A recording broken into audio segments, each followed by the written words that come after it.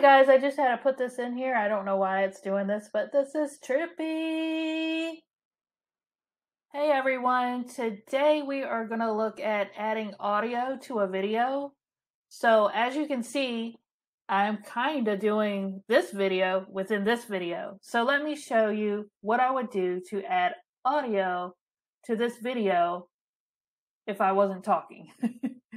So the first thing I would do is go over to my audio section and pick out a track. The problem with me is I have the free version, so there's very, very limited audio I can use. So sorry if you see some of my videos and the music is kind of eh. That's because I don't have a lot to choose from. So we're going to go with something light. So we're going to do this little advertising one. So what I'm going to do is take this, I'm going to pull it down to my here, and it's going to load my audio.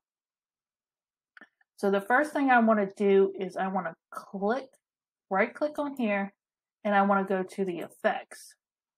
So I want to fade in. I don't want it coming out really harsh and like blamming right off the bat. So I usually put like a second to two seconds in there as a fade in.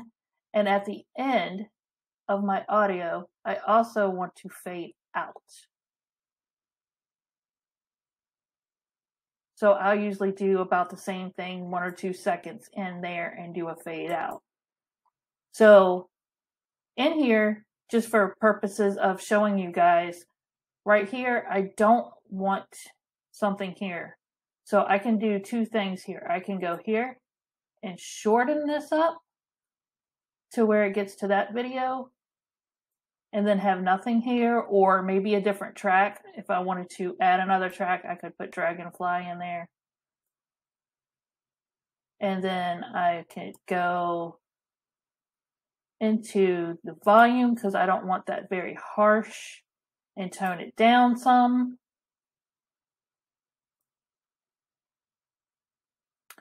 And then I can shorten it up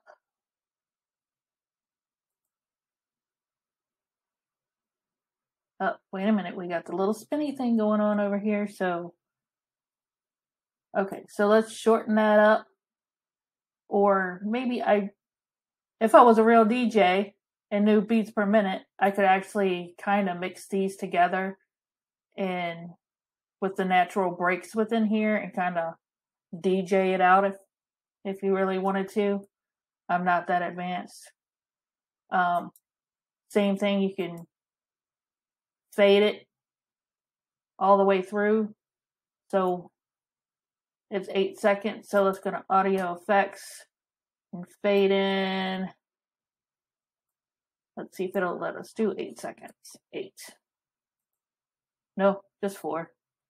So with that, we can fade in and then we'll fade out for eight seconds. Let's try that. Four. So that would be way less hard. Sorry, guys. And then I could copy this, duplicate this, move it, move it over here to my end. That's where I want to use it. And it should pop up. Okay, let's move it, stretch it back up. And that's how you add music to your videos. Thanks for watching. Love, peace, happiness. Thank you.